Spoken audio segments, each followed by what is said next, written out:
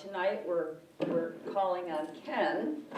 Ken is going to talk to you about keeping your brain sharp.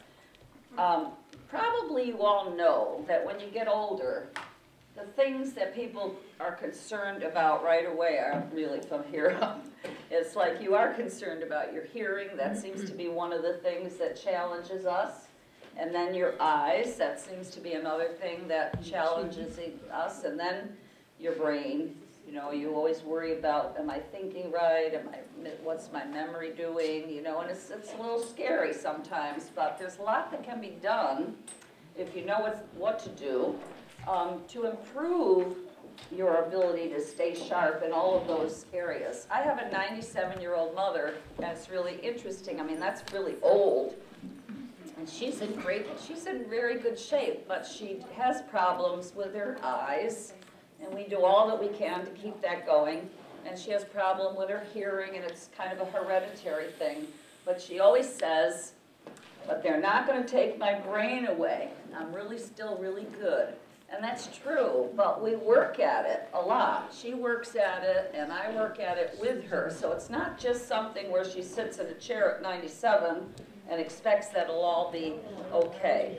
We do a lot. Some of the things that maybe Ken's going to talk about tonight um, to keep her brain stimulated and even growing at 97. So we have Ken Steller here. He's from Cheshire, Connecticut, and he brings a wealth of experience here. He really, he's, he's, uh, he has been trained in psychology and counseling, and he's done all this training for people, project managing, facilitating individual groups and teams. He's been a human resource person, and he provides consulting, program design, and training in the following areas, conflict resolution and mediation, change management, team building, process improvement, staff development, stress management, mental fitness, and collaborative decision making.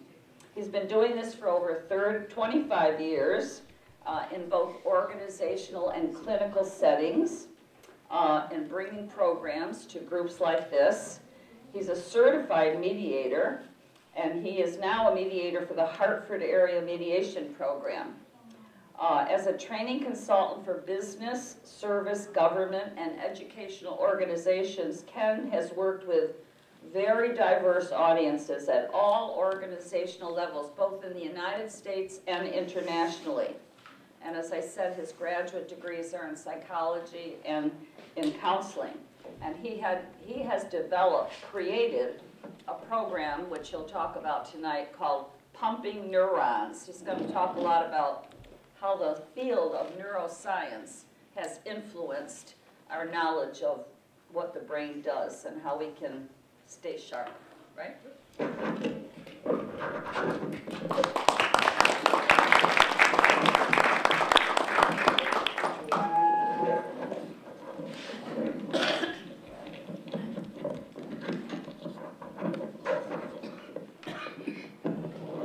Thank you, Bernadette. Good evening. Good evening. How's everybody doing? Excellent. Um, actually, my day job right now is with the University of Connecticut. I do organizational development, uh, project management for them. Um, but I've been interested in this uh, field of mental fitness since the mid-90s. While I was working as a consultant, I was uh, affiliated with a nonprofit educational organization in Hartford called the Thinking Center. It's now called the Think Well Center.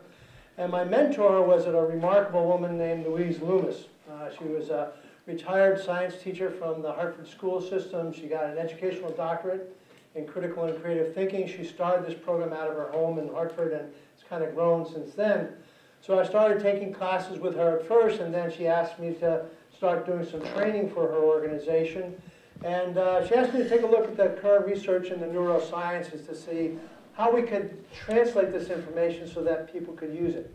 So I've been working on this idea of uh, pumping neurons for a number of years now. It's gone through a number of different variations. And what I'm going to share with you tonight is some of the things I've learned from my research and my experience doing this program.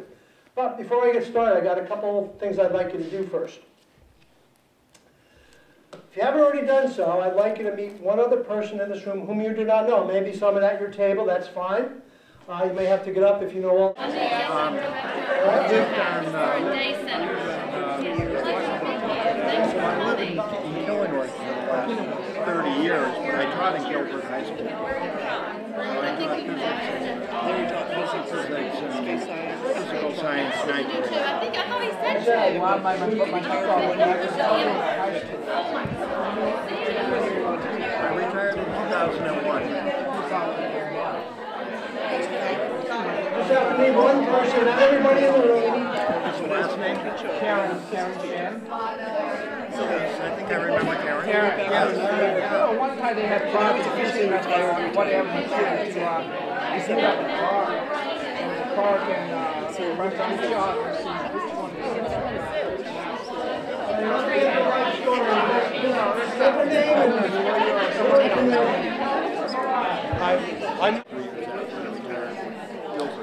All right, if you take your seats, I got a couple more challenges for Jim you. and Ming, okay? So, this next challenge, because we're gonna talk about memory as part of the program, Barry. I'm gonna show you three things on the screen up here. I want you to try to remember them, don't write them down, but I want to try to remember them because I'm gonna ask you what they are a little bit later in the program. So here we go, here are the three things. Spoon, rose, and pencil, right? Spoon, rose, pencil. Hey. Now I got one more challenge for you. We're gonna actually try out a memory technique called the method of loci or the loci method.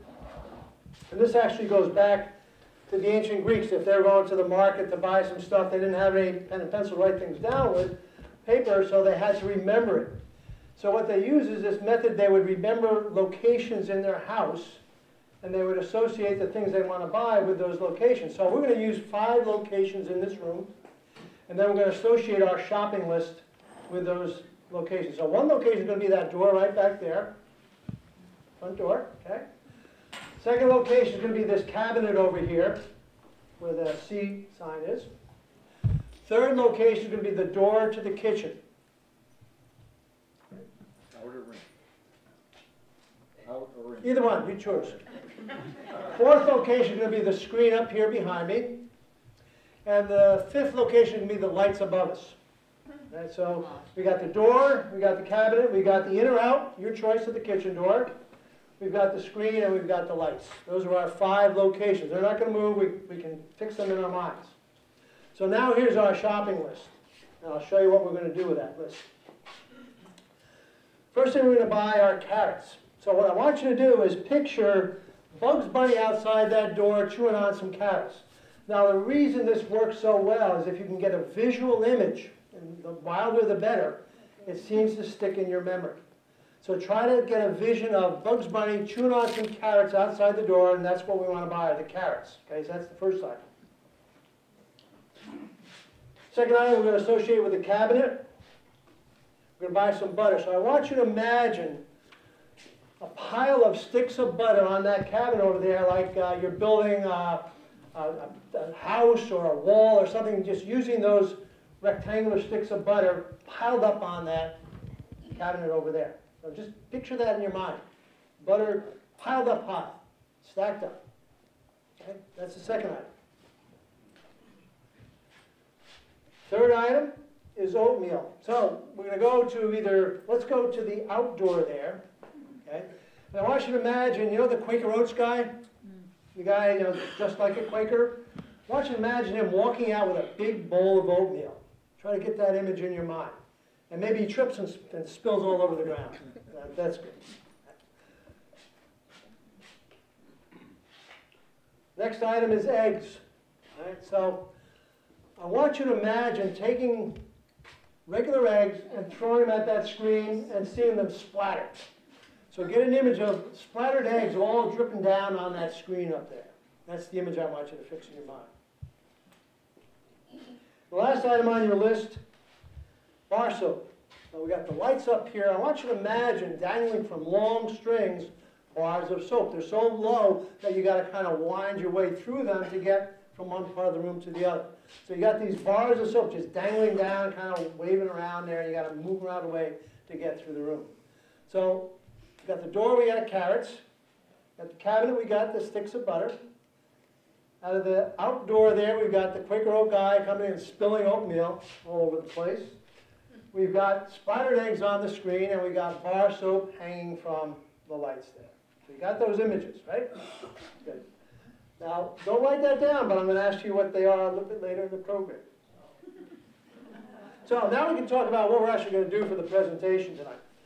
I want to give you a little bit of understanding of how the brain works. We're going to open up the hood and look inside and see a little bit of how the brain works so you understand how it affects our mental capacity as we get older.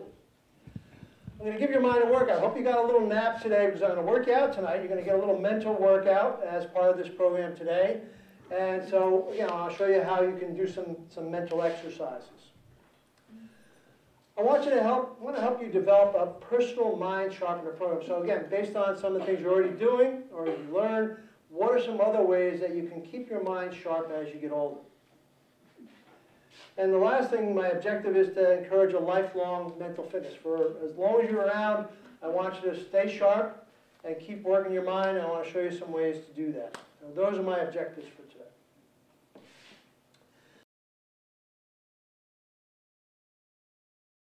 Now, before we get into the heavy-duty stuff, I'm going to give you a little warm-up quiz, what I call the Mind Sharpener quiz. So these are basically true or false questions. So just don't shout them out. Just think in your mind whether this is true or false. First one says, highly intelligent people have larger than average brains. Now, I'm assuming that all of you are highly intelligent because you came to this program tonight. so do you think your brains are larger than the people out there on the street? Larger, same size, what do you think? True or false? False. It is false. Um, all of us have a brain that's about two and a half to three pounds.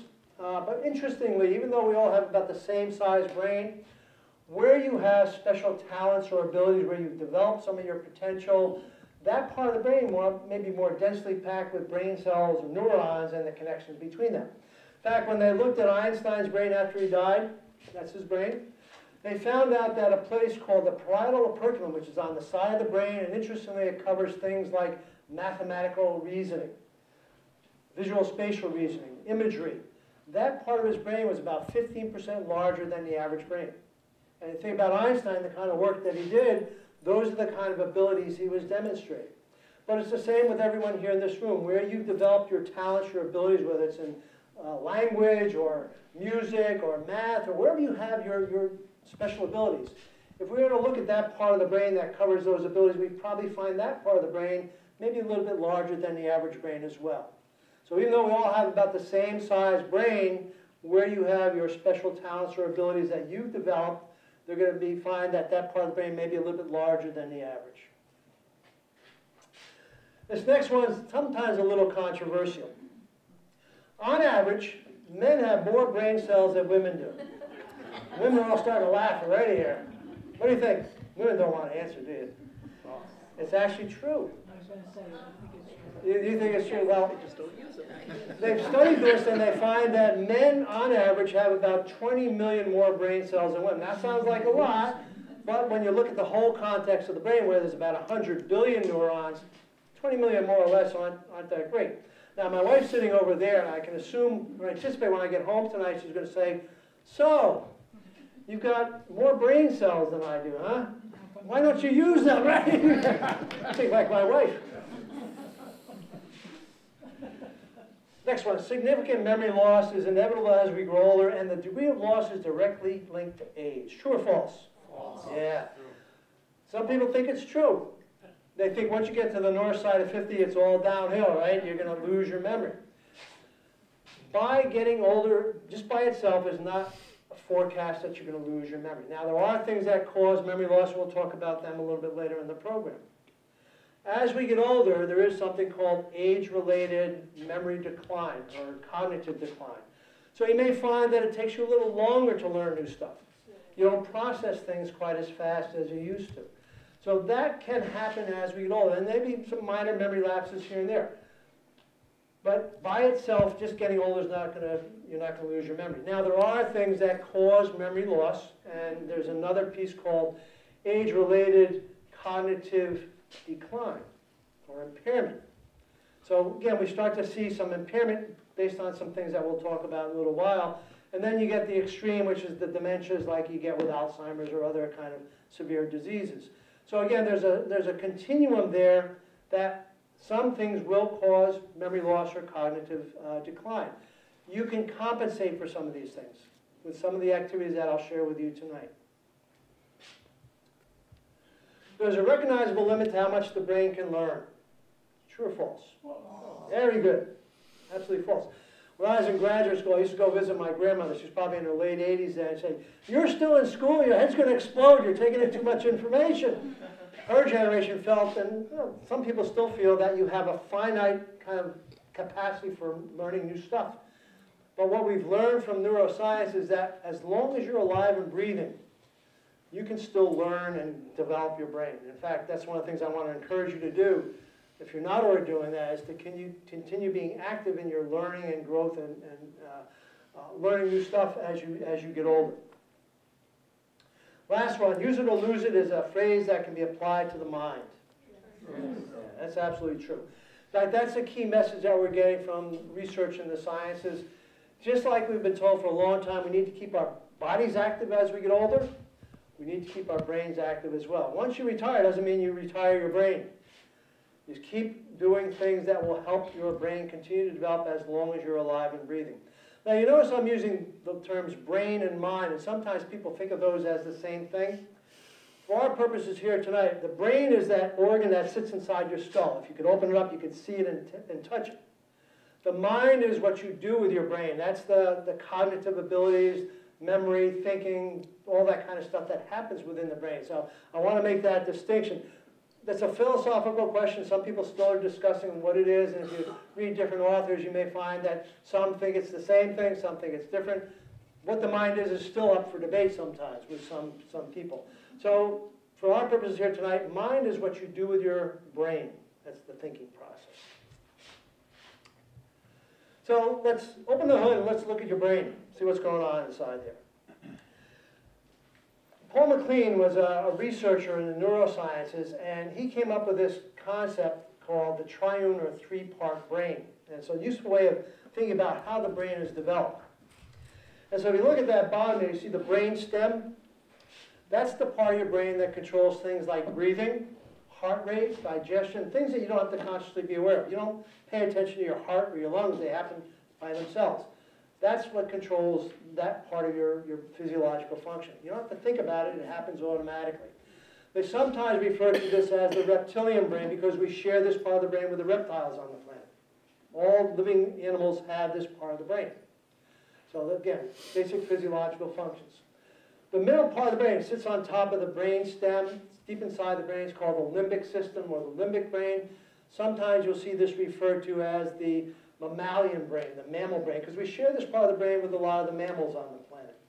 This is the part of our brain that's involved in learning, memory, and emotional control and regulation.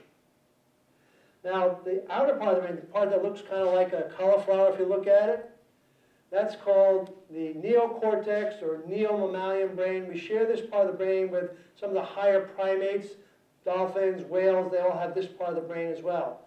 Now, it looks like a cauliflower, but if you touch it, it's got the texture of tofu or jello. It's very soft and pliable. It's about the thickness of two dimes, so it's a very thin coating over the, over the top of the brain.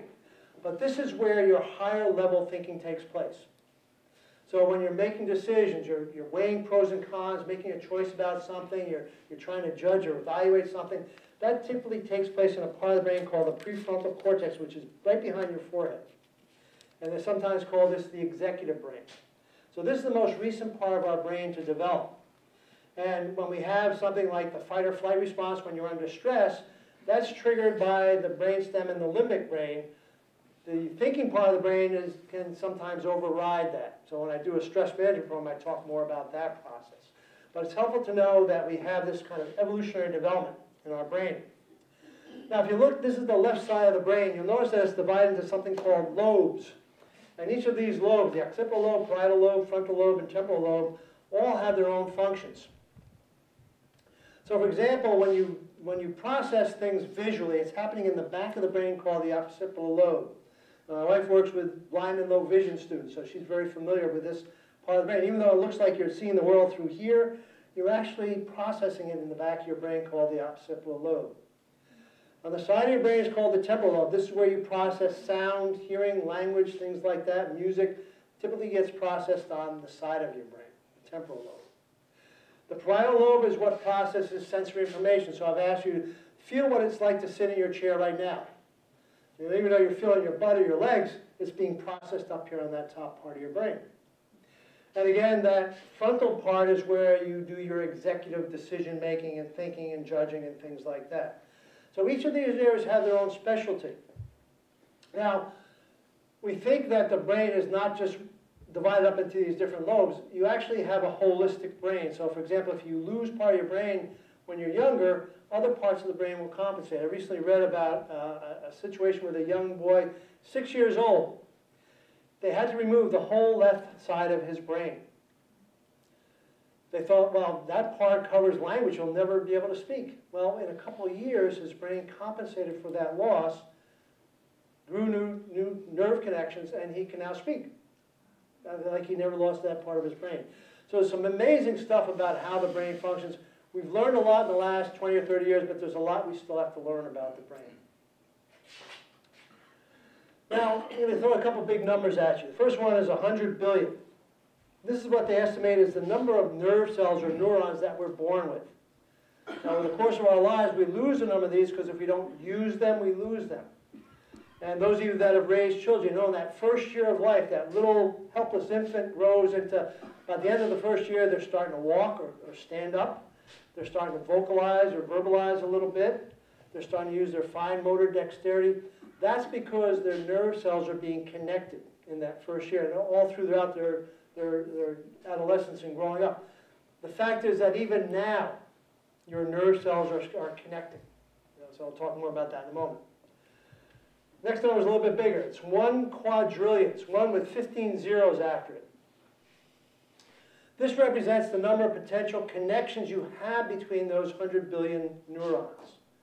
Now, just to give you an idea how enormous that number is, if we were to start counting from one to one quadrillion with a number about every second, how long do you think it would take us in this room to get to one quadrillion? 42 years. 42 years. That's a, okay. Well, any other thoughts? A thousand. A thousand years. Somebody's going to say one quadrillion seconds. it would actually take roughly close to 32 million years. That's how huge that number is. Those are the connections that you have going on inside that skull of yours. It's an amazing kind of a process. So let's talk about that working unit of the brain called a brain cell or a neuron. You think of my fist as the neuron, each neuron has one axon. That's how it sends signals from one brain cell to another. And it sends it by sending a tiny elect electrical charge down in the axon. When it gets to the end, it releases a chemical called a neurotransmitter.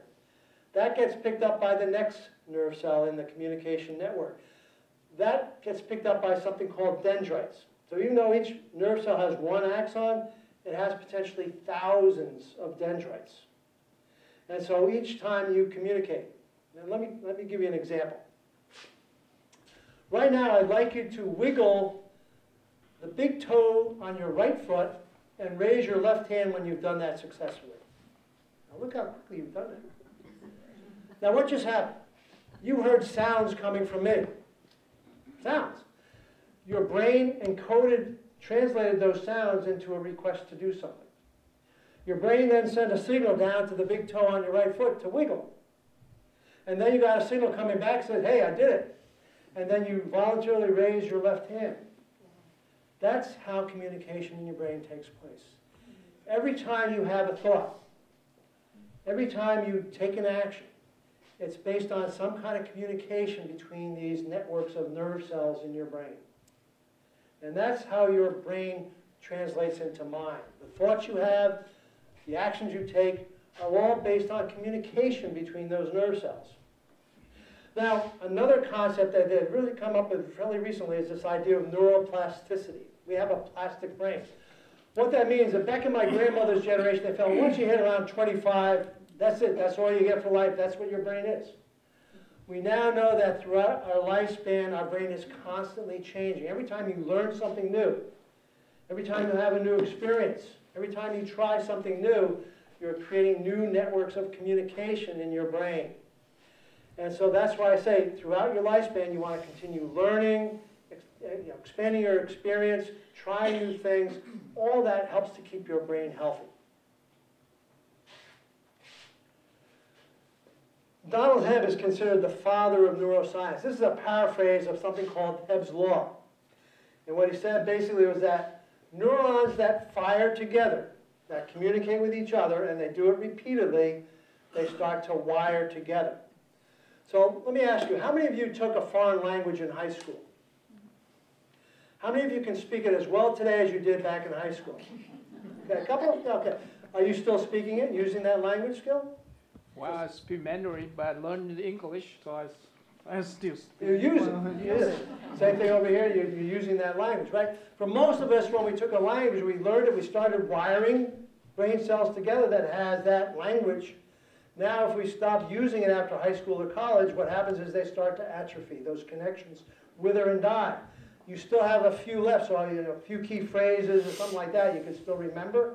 So it hasn't gone away completely because you can still remember a little bit, right? But that's the way the brain works. If you don't use that information, you tend to lose it. That's why it's important to keep reinforcing those communication networks. The state of the art of brain science back in the 1800s was something called phrenology. What they did is they studied bumps on the head. Now, as a child, I fell a lot. I used to bump into things, so I got a lot of bumps on my head. They'd have a field day with me. But they could feel the bumps on your head, and by basing that, those lumps, they could determine your intelligence, abilities, um, potential, personality characteristics. Now, some of you may be old enough. I know my mentor, Dr. Lou, Louise Loomis, when she was a young child, she had people feeling her bed because that was still around in the early 1900s. Now we know a lot more about the brain than we did back then, and it's based on a couple of things. One is we now have very sophisticated technology, CAT scans, MRIs, functional MRIs, that allow us to watch the brain at work without actually cutting somebody open and looking at the brain. We can give them a problem to solve, shoot them into an FMR, fMRI tube, watch the brain and see what parts of the brains light up as they try to solve a problem or think about something. So we've learned a lot about how the brain works based on this, this technology. The other thing that's helped us learn are longitudinal studies. Some of you may be familiar with something called the NUN study. Um, Dr. David Snowdon, a psychologist, he's retired now, but for many years he was following this uh, group of retired nuns from the, the School Sisters of Notre Dame. They have a retirement community out in Mankato, Minnesota. They also have one here in Redding, Connecticut. They also participated in the study. And every year we go back and he'd interview them, give them some tests, and when they passed on, they would donate their, saints, their, their brains to be looked at. And so what they found, for example, is that some of the older nuns, in their 90s, some in their, in their hundreds, even though they were still relatively functioning pretty well in their old age, when they actually looked at their brains, they were in the early stages of Alzheimer's. They could see some of that stuff going on there. But they didn't show much decline. And when they looked at their lifestyle, they found that those nuns that, nuns that lived longer, stayed active, and, and were healthier longest, tend to be very actively involved and engaged in their community. They volunteered, they taught, they read, they did stuff. They didn't just sit on the rocking chair passing time. So that's one of the things we learn is that staying active as we get older, physically as well as mentally, is one of the things that helps to preserve our brain. The other thing they found is that when these women entered the order, usually in their teens or early 20s, they had to write an autobiography. And they had those autobiographies, so they compared them to what, how the people were now in old age, and they found that those that wrote a very detailed autobiography, again, tend to have better mental faculties when they got older. And there's a reason for that, which I'll share with you in a moment. So here are some things we've learned from the NUN study and other longitudinal studies about what it takes to keep our mind sharp as we get older. Intellectual stimulation. So the more you learn, the more you learn and, and educate yourself, uh, either with formal classes or just on your own, you're building what they call cognitive reserve. You're building up all those connections between the brain cells that, again, if you start to get stroke, Alzheimer's, things like that, you can lose some of those connections and still have connections in reserve. That's what they think happened with some of those nuns, is they had a lot of cognitive reserve built up over the years, which started in their early, early years. That's why they had those detailed autobiographies. So again, you know, whatever you're doing right now, uh, some of you are probably taking classes. That's one thing to stimulate your, the, the nerve cell connections and to intellectually stimulate yourself to continue to do that. Strenuous activity. Now, why do you think strenuous activity is good for the mind? Blood flow. Oxygen, yeah. So that activity helps the heart pump blood to the brain. Now, your brain is about 2% of your body's weight, but it takes about 20% of your body's energy. So the way it gets that energy through oxygen and glucose is through circulation. So everybody take a deep breath. Get that oxygen in there. Good. Stress management. One of the things we know about stress is that chronic prolonged stress can damage the brain. It can affect the body's immune system, but it can also damage the brain. One particular part of the brain called the hippocampus, which is critical for learning and memory. And we'll talk more about that in a little bit. So, yeah, we all have stress periodically, but if you're experiencing chronic prolonged stress, it can damage both the body and the mind over time. I can make a difference. Now, no matter how old you are, you have this sense that I can still contribute to my family, to my community, to organizations like the Senior Center here. You're still involved and engaged, you're still active. And that's what's important. You still feel like you can make a difference in your own life and people's lives. And the last one is staying connected. We know that people that have others around them, friends, family, those kinds of connections have a value to prevent getting uh, mental decline as we get older. So again, think about some friends you know that may be isolated, um, not getting involved with other people. Those people tend to lose their mental faculties quicker on average than people that stay actively engaged with other people. So again, programs like SEA, like the Senior Center, are opportunities to engage with other people. Very important. So I talked about you know, the, the value of exercise, strenuous activity. What they find is that things that are good for the heart are also good for the brain. Because again, because of circulation, getting that, that energy up there that, that the brain needs. So again, if you don't have a, a physical activity, I know they have programs here at the senior center. Um, before you get started with something, check with your healthcare provider, make sure you're okay to do stuff. But try, if nothing else, try walking. You know, do walking. Uh, there are classes here that you can take, you know, classes in other venues. But it's important to stay physically active as much as you can recognizing that you know we develop aches and pains and other chronic problems as we get older, but trying as best you can to stay active. The other reason why you want to stay physically active is when you do aerobic activity, it releases something in the brain called brain-derived neurotrophic factor. It's a protein that actually helps brain cells, helps replenish brain cells, but also helps stimulate the growth of new brain cells. So here's an important finding from maybe the last 30 years or so in the neurosciences. Up until about 30 years ago, we felt that you didn't get any new brain cells once you were born. That what you're born with, what you get. Now we know that the hippocampus, remember that part that's important for memory and learning, it's also producing new brain cells. We don't know what it does with them. And so that's one of the areas of research right now in the neurosciences is how could we possibly migrate those new brain cells for example, somebody has Alzheimer's, somebody's had a stroke, to get part, part of the brains that might have been damaged by some of these things, if we can do that, then we can help restore the brain. So again, that's one of the areas that they're looking at right now. But exercising by itself will release this BDNF, which is good for your brain.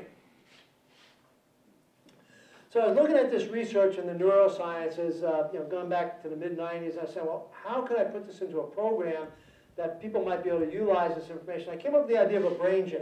Now, someone already used that name, so I had to call it pumping neurons, which I like as well. But just if you were to go to a gym to work out, real gym, you would work on strength. You do calisthenics, resistance exercises, try to build up the strength in your muscles. You work on flexibility, so you do stretching, yoga, Pilates to keep yourself loose and limber. You work on endurance, so that's where the aerobic activity comes in to build your heart and lungs capacity. So in the brain gym, we're going to work on those same three areas, but we're going to do it mentally. So mental strength is reflected in attention, concentration, and memory. Mental flexibility is reflected in your ability to think creatively. Not just artistically, but creative problem solving for everyday types of problems. And mental endurance is reflected in your sustained thinking for problem solving and decision making. So I've created exercises in each of those areas. And I'm going to give you some examples right now. You're going to get a little workout as we go through this. So we're going to start with mental strength. By the way, what was the food item outside the door there? Okay, Good, good. What was hanging from the lights? Oh, good, very good. Yeah. Like it.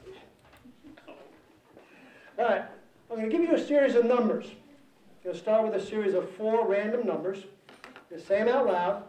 When I'm done saying that, I want you to repeat them just the way I said them in your head. Don't say it out loud, just repeat it in your head. So if I said one, two, three, four, you would say in your head one, two, three, four. It's not going to be that easy. And I'll add a number each time. So I'm going to start with four, and then I'll add one each time. So here's the first series. Three, two, eight, six. Pretty good. Next one. Five, seven, two, nine, five.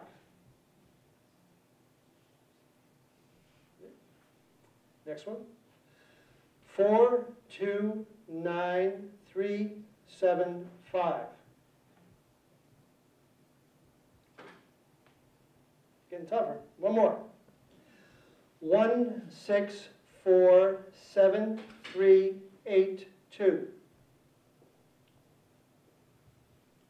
That was probably a little bit of a stretch. That was seven digits. And when they research people learning something new, about seven bits of information, give or take two, is what most people can, how they, you can develop this over time. If you practice this, you can expand it, but we're just going to give you a little taste of it here. You have to pay attention to get that. So that's building your attention. Now, what you may have found towards the end there is you got the first number and the last number, the rest in the middle kind of got jumbled up. That's something in psychology called the primacy and the recency effect. We tend to remember what we heard first and what we heard last. When there's a lot of information in between, it gets kind of mixed up. So you got to practice to get all those middle numbers. I'm going to give you numbers again. I'm going to start with a series of three. This time I want you to say them, repeat them backwards from the way that I said them. So if I say three, two, one, in your head you would say one, two, three. Okay. So here we go. I'll start with a series of three. Five, eight, one. No, re- reverse it and do it in your head. Don't say it out loud. Next one. Six, one, seven, four.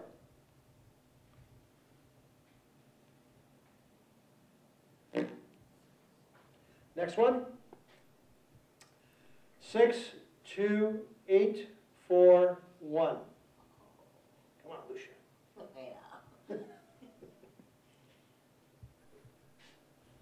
Okay, try one more. This is the grand slam here. Seven, three, five, one, nine, two. Backwards is almost easier than forward. For you, it's easy. Oh, good. What you're using for this particular task, not just attention, but something called working memory. You've got to hold that information long enough to do something with it, which is to reverse it. So that's a little bit more of a challenge. But some of the research now shows that some of these activities that are promoted as brain exercise or mental fitness exercises, working memory like we just did is one of the things that we can work on that seems to have carryover value to other activities in life. A lot of things they do in some of these brain fitness programs will help you be good at doing that particular task.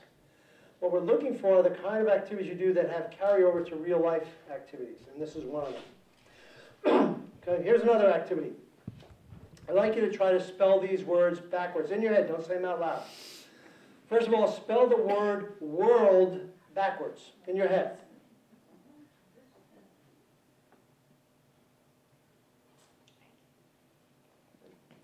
Next, spell the word brother backwards in your head.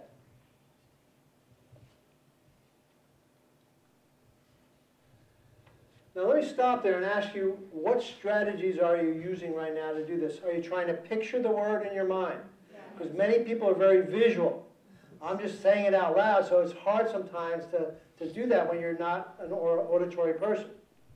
So you, what you're doing is you're translating it to something visual so you can see that word brother and then you can start to see the letters backwards. So again, that's the way we approach some of these tasks. If I showed it up on the screen, it might be easier for you to do that. I just flash it up there quickly you looked at it, you're visual, you could do it more easily.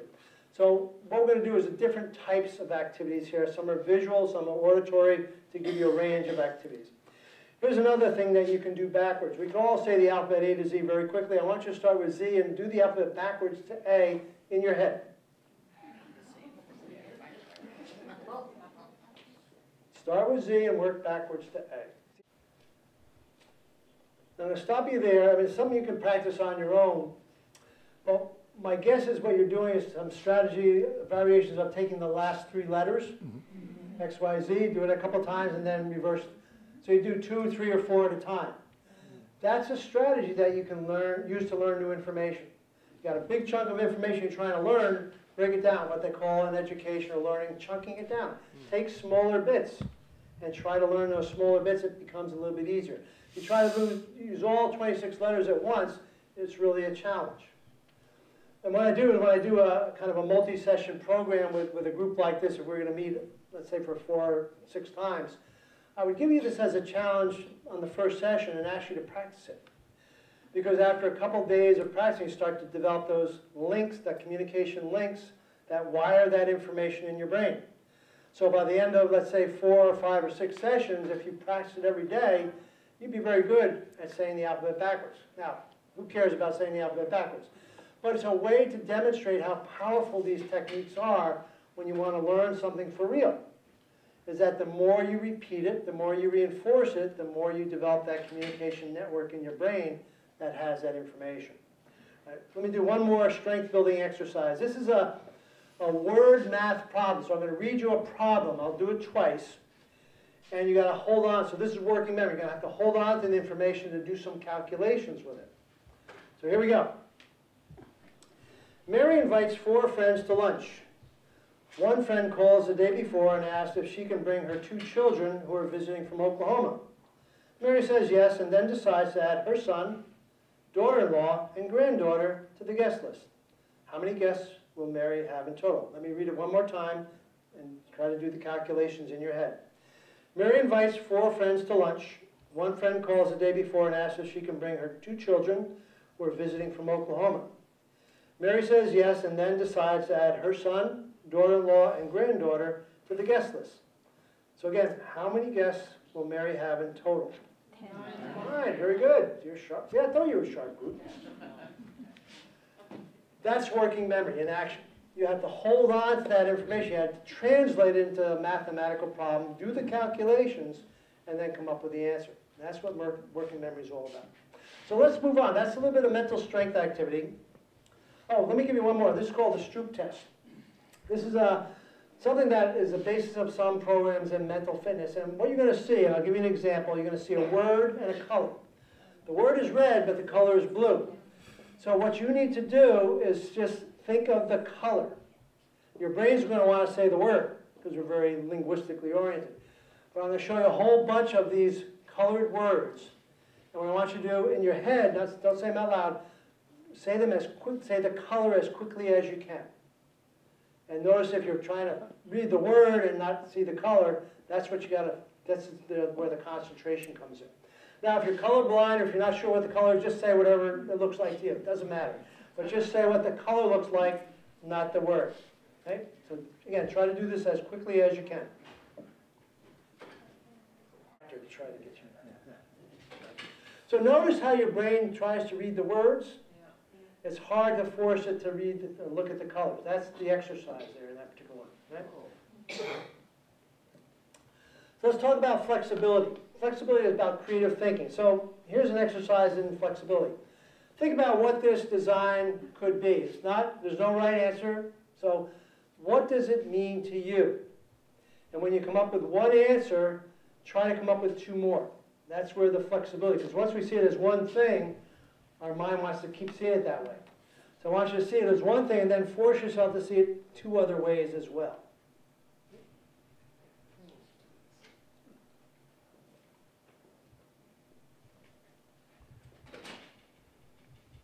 Now turn to someone sitting near you and share what you just came up with.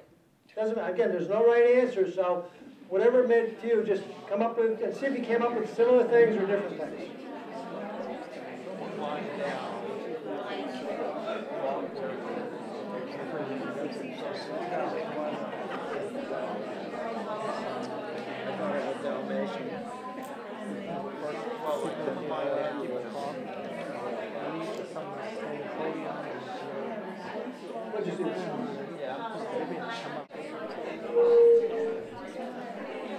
Right, so that's flexibility, seeing more than one possibility here. Here's a more, another exercise in flexibility. This is a common brick, you can see the dimensions. Besides using it to build something, what other uses could you think of for this brick? Plant holder? Yeah, what else? Candle holders. Candle holder, what else? Door What stop. is it? A hole for a mouse, a door stop? What else? Fishing rod holder.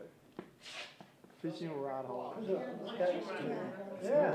Get rid of stress and throw it. Somebody says door stop. Okay. Now, if you're struggling to think of something, this is where you can, again, exercise your, your, your mind by taking common things like this and say, well, what else could this be used for? How else could I use this? That's where the flexibility comes in. It's flexible thinking. Now, a number of years ago, I was contracted to do a, a training program on creativity for managers. And so I did a lot of research on what supports creative, creative, the creative process.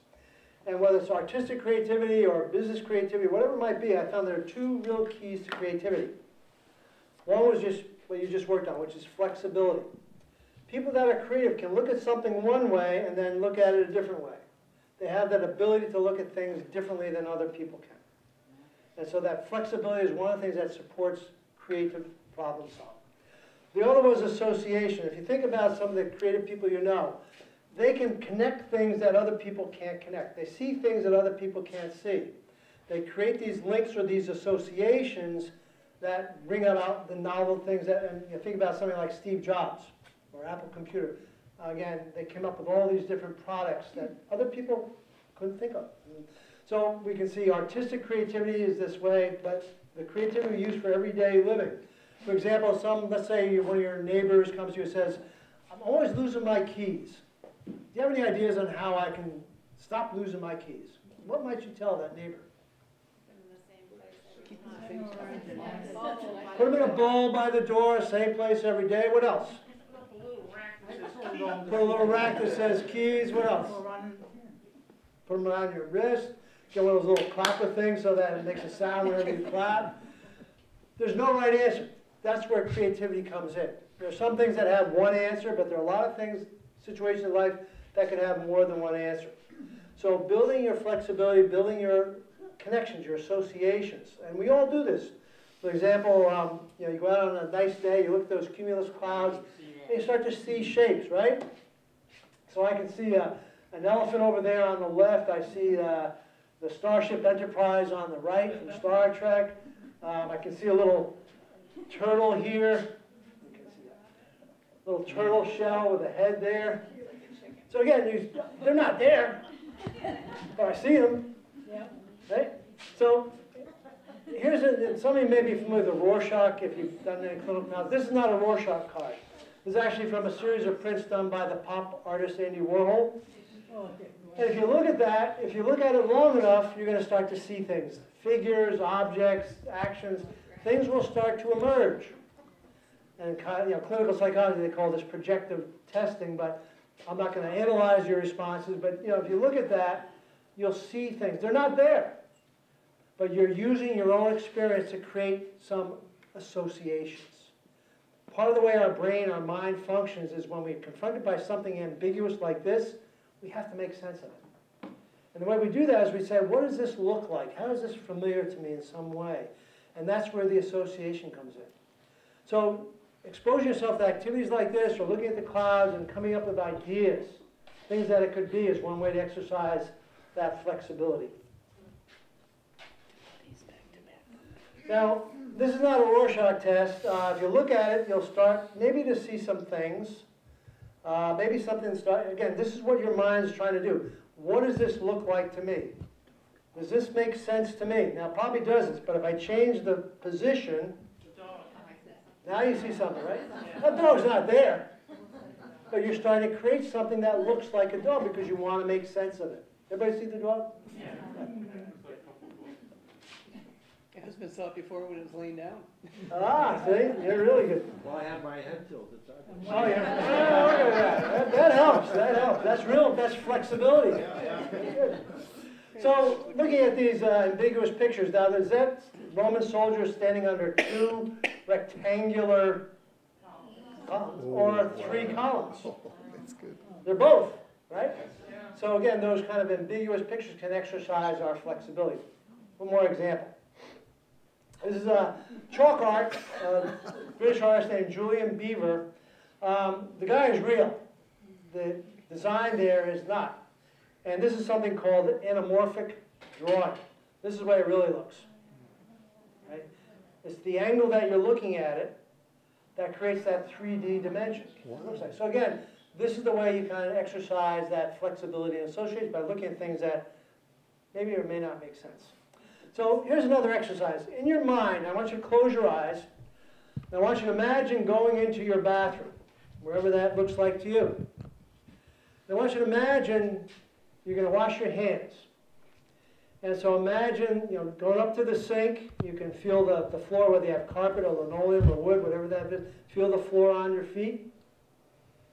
And then feel the, the texture of the faucet as you turn it. And hear the splashing of the water as it goes into the sink. Imagine picking up the bar of soap and lathering up. And filling the water and the soap as you do that, the temperature of the water. And then imagine yourself turning off the faucets, taking a towel, feel the texture of the towel as you dry your hands off as it goes from, your hands go from wet to dry. And so what you just did is you used your creativity, your imagination. So it's another way to exercise your, your flexibility and association. Use that imagination. All right, let's go to endurance now. I've got a little, this is your final exam. It's a couple of problems. Some of them are word problems, some of them are puzzle problems.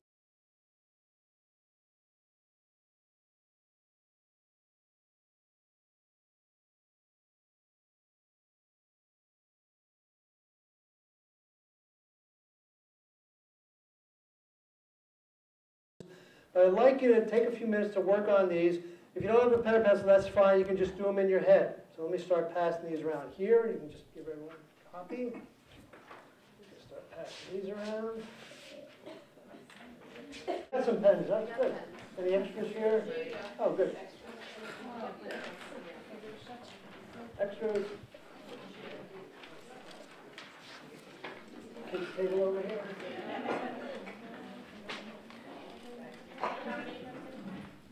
Oh, you didn't get it? Ah! So you do the side that says, sharpen your mind.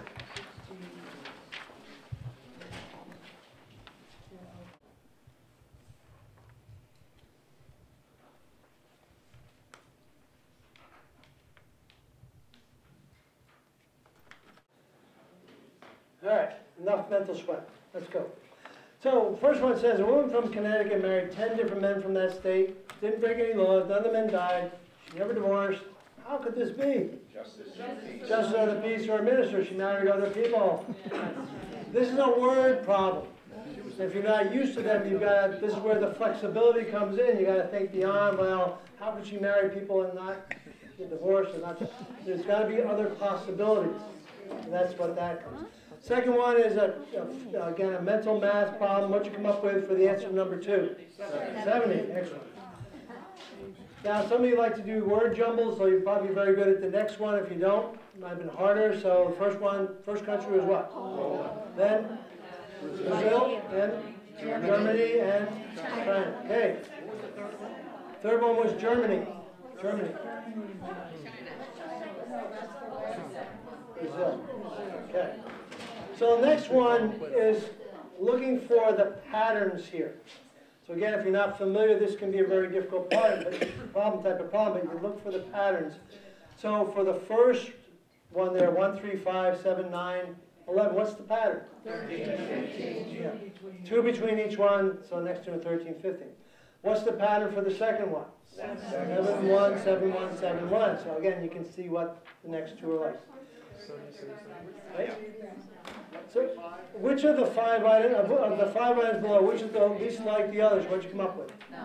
Novel. The others are all references. Some of the people say atlas because they think it's mostly maps. So that's why it might be different.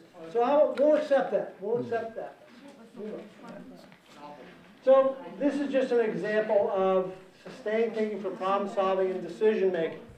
So what we've just done is exercise in each of those areas, mental strength, mental flexibility, mental endurance. I want to switch gears a little bit now and talk about learning and memory.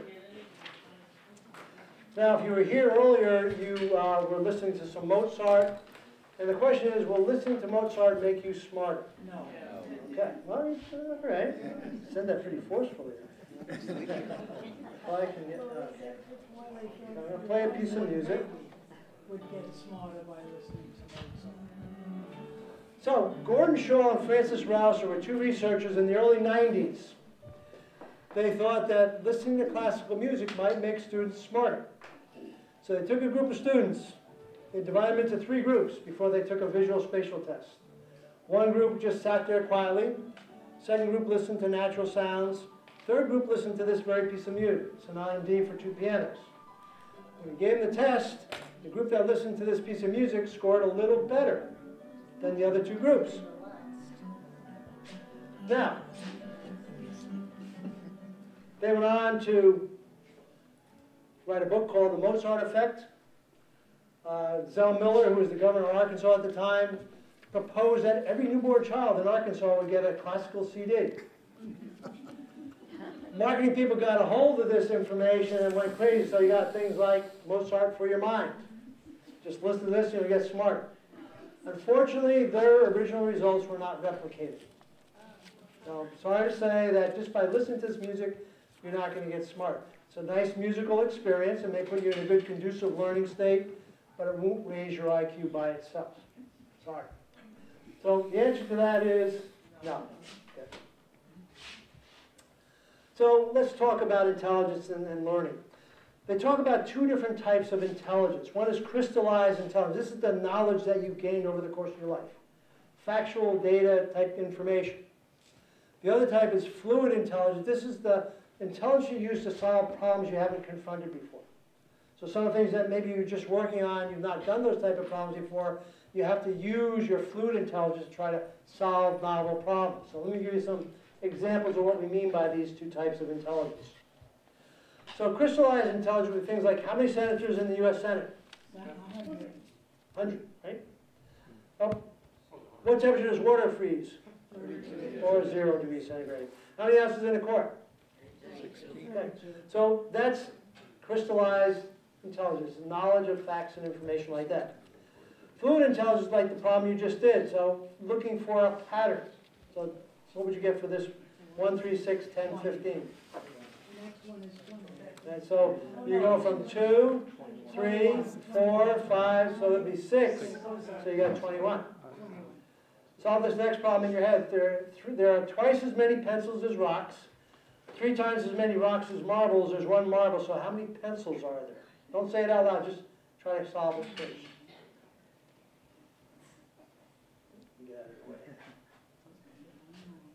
So this is fluid intelligence now, reasoning. You like to do logic puzzles, that's fluid intelligence. So what'd you come up with?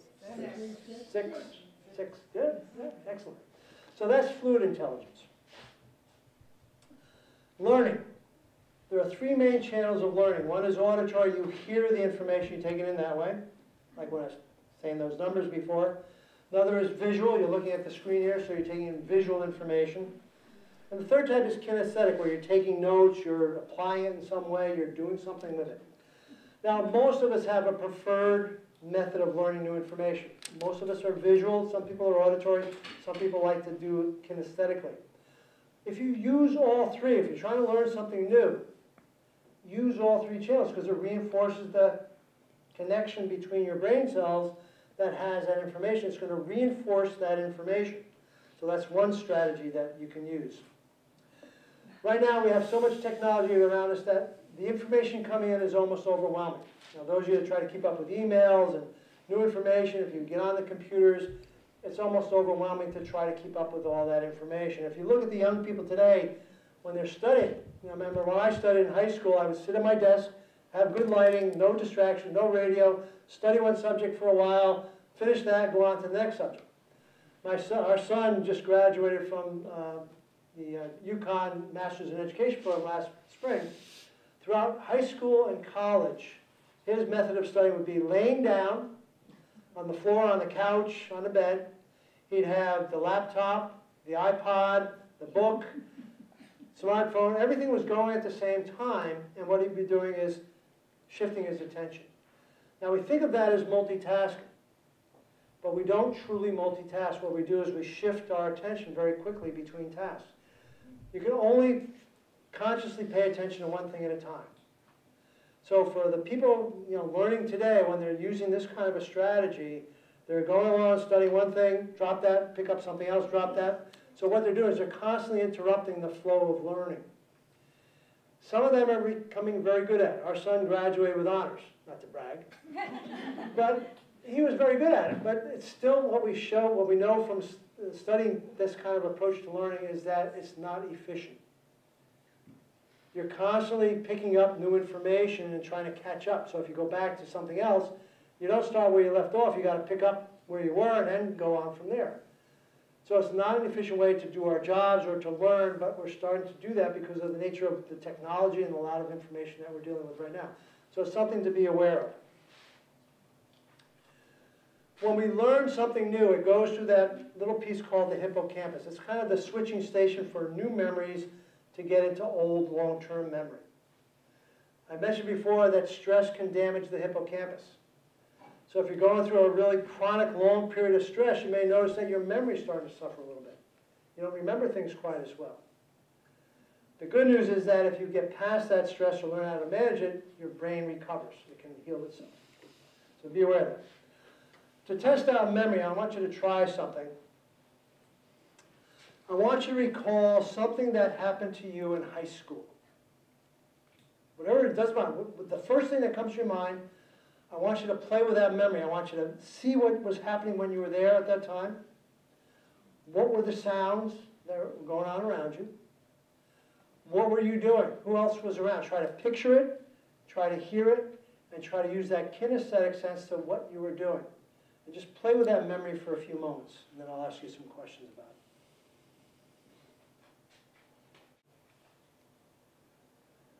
So now, let's talk about what was happening in your brain when you were doing that. Wilder Penfield is a neuro, was a neurosurgeon. Back in the 50s, he was doing brain surgery on a woman. And because the brain has no pain receptors, he think the woman was awake. And he touched a part of her brain, and all of a sudden she started talking about a memory. And so the theory back 50 years ago was that each memory has a discrete point in your brain. If you just touch that point, you're going to have that memory. What we now know, the memory you just had was really an assemblage from different parts of your brain. So if you were seeing what was happening back in high school, that comes from that occipital region, which stores visual information. If you heard sounds, maybe you were at a school dance and you were hearing the music playing, that's coming from the temporal lobe. If you had a vice versa, or some emotion that you had, it could have been a positive emotion or a negative emotion, it sort of fixed some of that memory in your brain as you were thinking about it.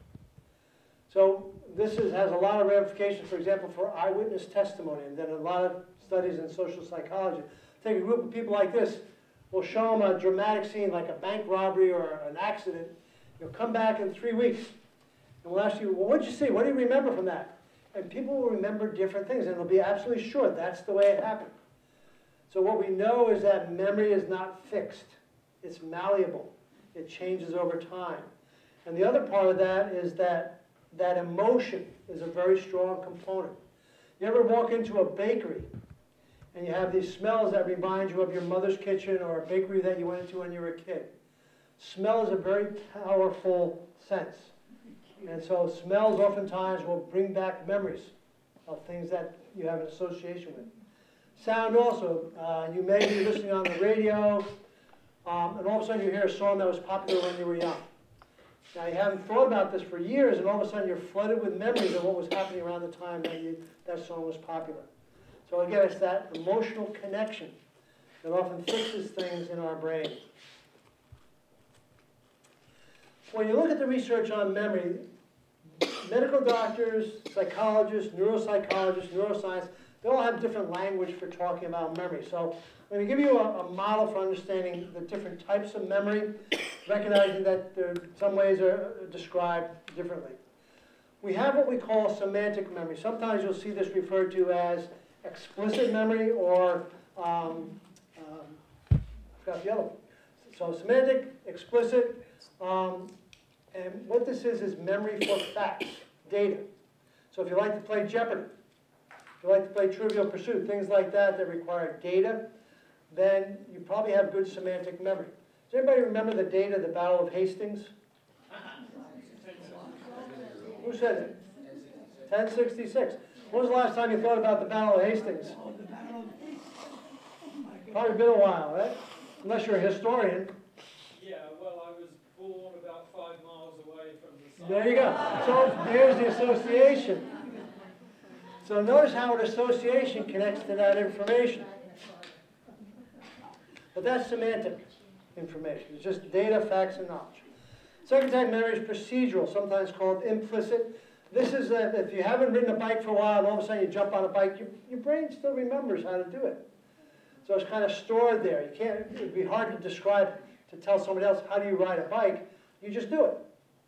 And so that's that procedural, things you do in a certain pattern or way, uh, driving a car, multiplication tables, the alphabet, things you always do in the same way tend to get stored in procedural memory. And the third is episodic. These are episodes from your life. So if I asked you what you had for breakfast this morning, most of you probably tell me, especially if we have the same thing every day. But if I ask you what you had for dinner five months ago on Saturday, you know, again, unless you have, yeah, unless you have the same thing every Saturday, it might be hard to remember, but it's an episode that's unique to you. So we have these three types of memory, and then we add the element of time. We have short-term memory, and we break that down to immediate. So when I asked you to ask you to remember those numbers forward, that was immediate. If you had to remember now, you probably forgot all those numbers. Didn't have to hold on to that information. Just need it for a few seconds. We also have short-term working memory. So here's where we're going to challenge you. What was the name of the person that you met at the beginning of the program? Try to think about who that was. Right? So some of you remember. Again, that's working memory. You hold on to it for about a little over an hour. Don't say them out loud, but what are the three things I showed on the screen? Say it to yourself first. At the beginning of the program, I showed you three things on the screen.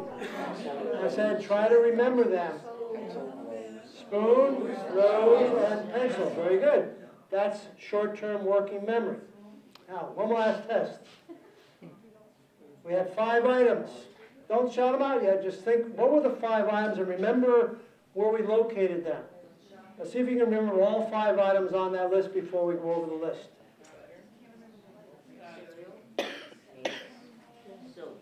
All right. So here you go. We had carrots, remember Bugs Bunny outside the window. We had the stick letters on the cabinet. You had the Quaker Oats guy coming out and spilling the oatmeal. We had the eggs splattered on the screen. Marshall playing on the lights.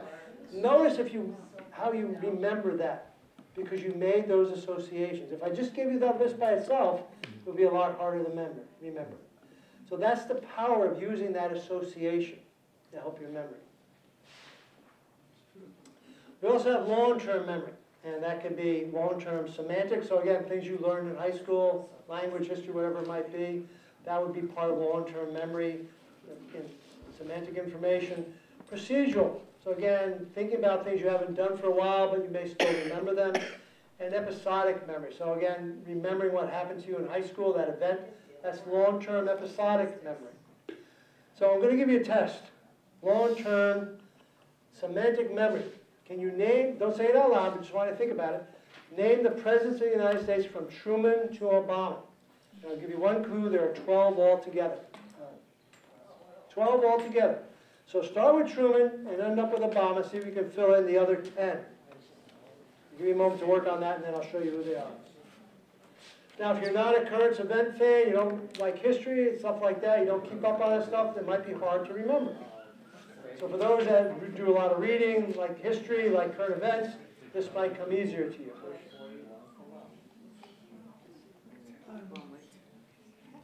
Yeah? All right, here you go. Got Truman, Ike, Kennedy, Johnson, Nixon, Ford, a lot of people forget Ford, Carter, Reagan, Bush one, Clinton, Bush two, and Obama. That's long-term semantic memory, factual information. For those that's not important to remember those things, it's, it's meaningless. Some people that's important. For extra bonus points, how many can name the vice president? No, just kidding. Tell you, Jim probably, you probably Talk about the three R's of memory. Let's talk about how do you get good memory. Three R's. First is receive. You got to get that information in the first place. So when you were meeting that person before, if you didn't pay attention to their name, you probably forgot it right away. So you got to get that information into your brain. That's what they call it, encoding it, getting it into the brain. So you got to receive it. You got to retain it. That's where remembering, recalling, using that fixes that information in your head. So if you want to learn something new, you practice it over time. You repeat it, you rehearse it. That fixes that information in the neural connections in your brain. That helps you retain it. The third R is to retrieve it. I know that name. Oh. You know, it's on the tip of my tongue. You know, it's, it's there. So retrieving it is one of the difficult parts of it. So we say, well, did the name start with an A, with a B? Did it, that's a strategy. Where do I know that person from? If you know a person, let's say from the senior center, and you see him out in a store, the face is familiar, but you can't, can't place it because you, you're not seeing them in their usual place. So you start to think, well, where do I know that from? Is it from work? Is it from the neighborhood, from church, from the senior center? Oh yeah, I met him at senior center. So again, use that as a strategy. Here's where the auditory, visual, and kinesthetic can be helpful if you're trying to retrieve that information. Use all three channels because one can back up another. If you use all three to get the information in there in the first place, you can use all three to try to retrieve it. More easily done. So let's talk about some mind busters. What impairs our cognitive functioning, including memory? Big one we most, most of us think about is dementia. Alzheimer's is a form of dementia. Sometimes we think of them as the same thing. Dementia is just a broad category of diseases that impair cognitive function. Alzheimer's is one example of that. It's the one we're most aware of because most, a lot of people suffer from it. But there are other kinds of dementias, Lewy body cell disease, uh, Creutzfeldt-Jakob disease, things that affect our cognitive function. Right now, it's estimated about 5 million people suffer from Alzheimer's at different levels. Uh, probably everybody in here knows someone, maybe in your family, maybe in your social network, that has or has had Alzheimer's. It's not curable. They don't have a cure for you. What we can do is look at lifestyle factors that can contribute to it, like a high-fat diet, lack of exercise and activity, again, not getting good circulation up there, not keeping our brains active. Now, you can do all those things, it doesn't guarantee you're not going to get Alzheimer's. In fact, the longer you live, the more likely you'll at least get the early stages of it.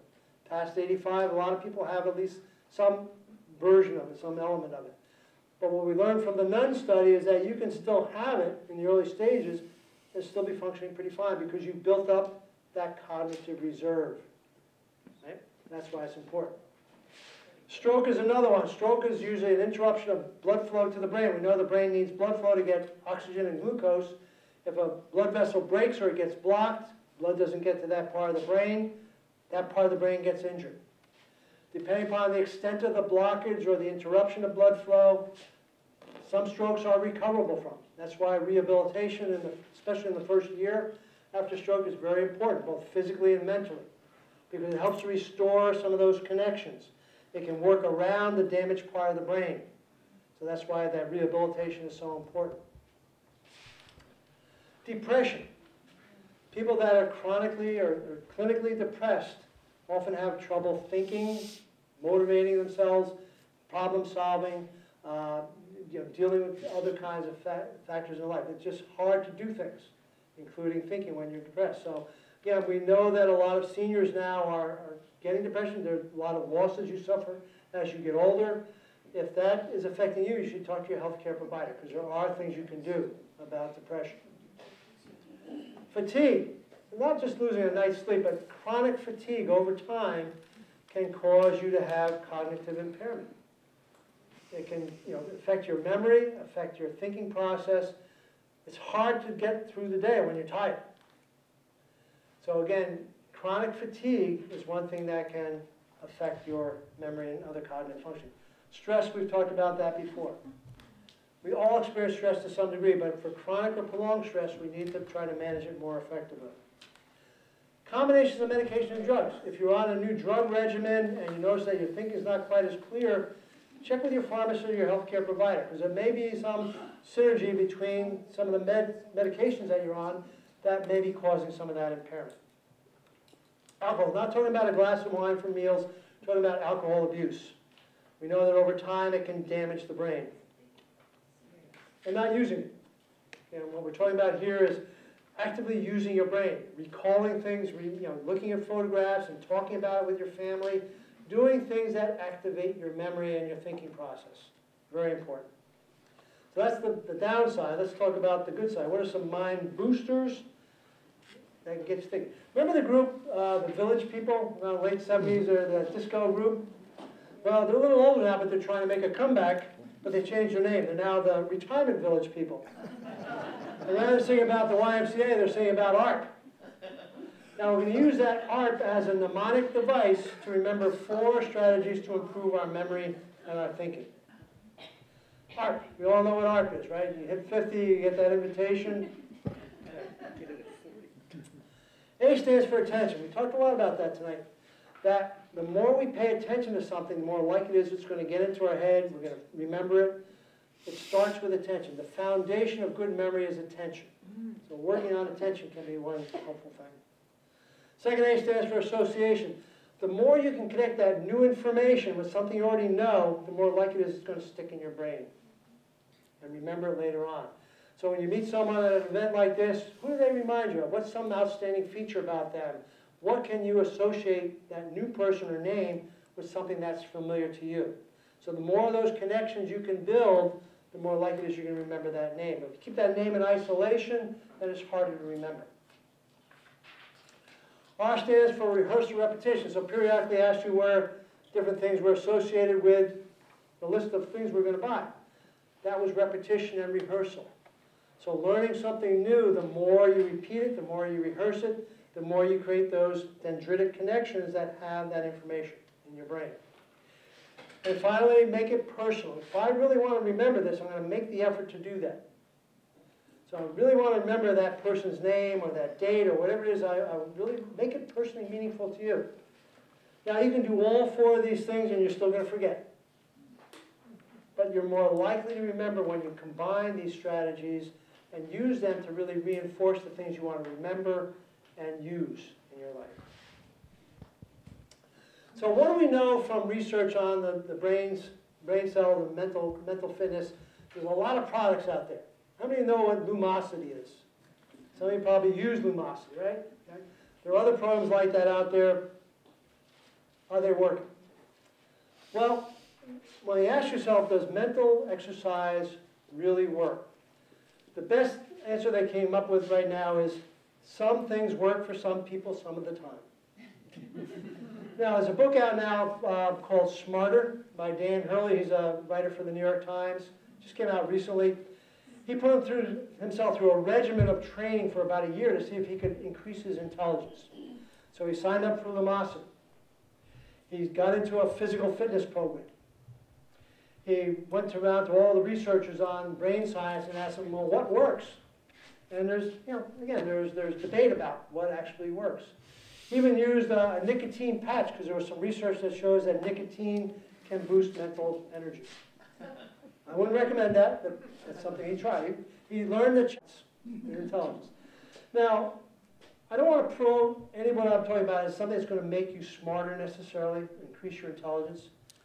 What I want to talk about is a program of fitness that will help you keep your mind sharp as you get older and hold on to what you got and again build that cognitive reserve. So if you do have a, a stroke or you know, develop a dementia like Alzheimer's down the road, you're more prepared for it. So the things that seem to work for mental exercise are things that build your working memory, some of the activities we did tonight. You have to hold on to information for a while before you use it, do something with it. Things that require problem solving. That's where you get into that fluid intelligence, things that you're not familiar with. Things that require flexibility, so you're not just focused on one thing, you come up with different possibilities. And things that increase processing speed. So for example, a Japanese researcher uh, has a program of basically doing simple math equations. Addition, subtraction, multiplication, division, just, you know, like two times five, three plus four, several columns, and you do it for speed. If I gave you all day, it'd be easy to do. But we have to do as many problems in 30 or 60 seconds as you can. It builds your processing speed. So that's an activity that, that seems to work. So here's what I'm going to recommend. On the other side of that handout that you've got, something called the multiple intelligences model. Um, I'm sharing that with, you. this comes from uh, Howard Gardner, he's a researcher over at Harvard. Again, he's talked about multiple ways that we're intelligent. I'm not going to debate whether or not that's a legitimate model, but I think it's useful to think about how many ways can I exercise my, my mind. And so a big thing right now in the fitness field is what they call cross-training. So we do resistance exercise to build strength, we do flexibility exercises, we do endurance exercises, we don't just do one thing. So in our brain gym, we're going to do use that model to talk about different ways we can keep ourselves mentally sharp. First one is the verbal linguistic. Many of you like to do crossword puzzles, you like to read, you like to debate, you like to have conversations. Great, continue doing that. Anything that gets you to use language in different ways. Now, if you do, for example, you do crossword puzzles and you're good at that, you can either increase the challenge or you can do a different kind of linguistic puzzle, like a word jumble or something like that, or word puzzles. So verbal linguistic is one way, using language. The mathematical logic, so again, learning how to do math. If you, know, if you didn't like to do math in high school, doesn't mean you can't learn some things right now. So challenge yourself maybe with logic puzzles, things that require reasoning skills. So math problems, logic puzzles, things that require that kind of reasoning ability. Visual spatial. Okay, another way we can exercise enjoying art. Just going to a, a museum, uh, looking at the paintings, going with a docent to learn more about the artist or the, the style, uh, learning about painting. Some of you may like to paint, taking a class. If you're not artistic, you can take a class in painting or drawing, just so you're exercising that part of your brain. Uh, visual spatial uh, things would be like three-dimensional puzzles. You know, if you like to do jigsaw puzzles, putting things together would be another way to exercise this. Navigating yourself around, uh, again, orienteering or just navigating around town, taking a different route home tonight that you're not used to, and just trying to figure out how to get home from there. So again, another way to exercise that. You don't get there. Get a GPS. Body kinesthetic. Again, using your body. I know they have Tai Chi and yoga classes here. That would be a great way to do that. Pilates, dancing, things that get you using your body in different ways. If you have some, some uh, health problems or you know, chronic problems with your you know, not being able to do exercise, find some ways to use movement in some way. There's something that you can do. Musical rhythmic. Now, how many of you play a musical instrument or singers? Anybody here? I sing, There you go. Okay. So some of you actually are do do this already. For the rest of you, you could potentially learn a musical instrument. That's one way to do this. You can listen to music you're not familiar with. So if you like classical music, that's all you've been listening to, try listening to jazz or country western. Doesn't mean you gotta like it, but you're exposing your hearing to something that is not that's not familiar to you, and that's what's exercising the brain. Go to a concert. Uh, so again, musical rhythmic is a way to do that. Um, my wife and I used to go to drumming class before my arthritis got into my hands. That kind of rhythmic drumming. Uh, there might be some drumming circles around here. Interpersonal. Remember how important other people are to keeping our minds healthy as we get older. So finding ways to engage other people at senior centers like this, with your own network, your social network, make sure that you, you know, several times a week you're with other people, getting together with others. Volunteering. You know, you all have rich wisdom and, and knowledge and experience. Share that with others through volunteering. And the last one is the intrapersonal, inside yourself. So this might be your, whatever your faith practice might be. It could be uh, meditation. Mindfulness is a big thing out there right now. Mindfulness meditation, learning more about that.